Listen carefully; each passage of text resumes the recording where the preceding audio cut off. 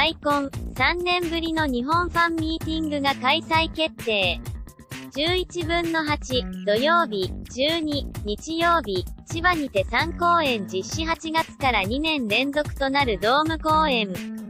を含む全国5都市17公演で20.6万人超えを動員する、アイコンジャパンツアー2018の開催が決定しているアイコン。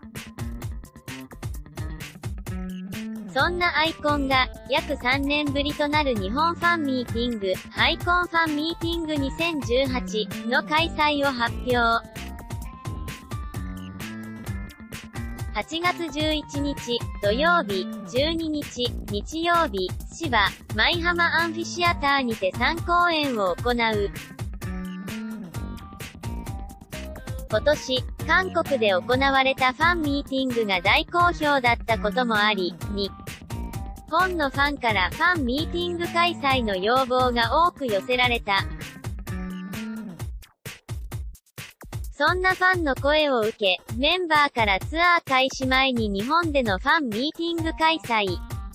を熱望する声が上がり、デビュー前に行われて以来約3年ぶりとなる開催が実現した。普段のライブではなかなか見られないトークやスペシャルな企画など、メンバーの素顔を垣間見ることができる久々のファンミーティングは必見だ。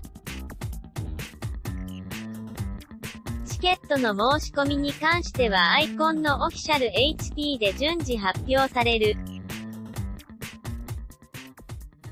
今年は2年ぶりに8都市を回るアジアツアーを行うことも発表され、より活動的な彼らに注目が集まる。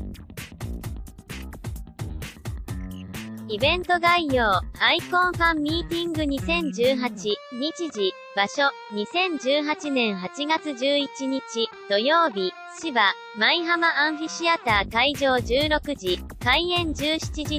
2018年8月12日、日曜日、芝、舞浜アンフ、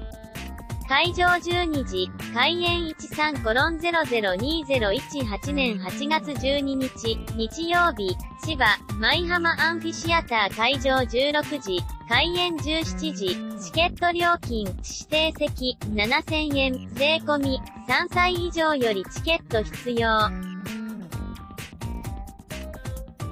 3歳未満は入場不可。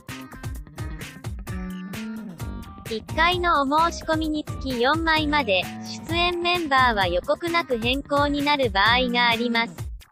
あらかじめご了承ください。関連サイトアイコンオフィシャル。ホームパゲ、http コロンスラッシュスラッシュ ygex.jp、アイコン。